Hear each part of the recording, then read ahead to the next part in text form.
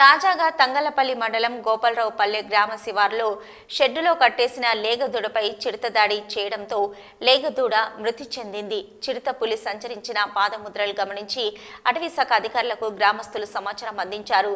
వరుస ఘటనలతో పరిసర ప్రాంత గ్రామ ప్రజలు తీవ్ర భయోందోళనకు లోనయ్యారు.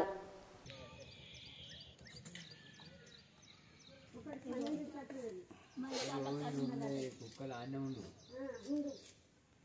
సావలు కాసుకుంటూ కూర్చుండు రోడ్డు పై.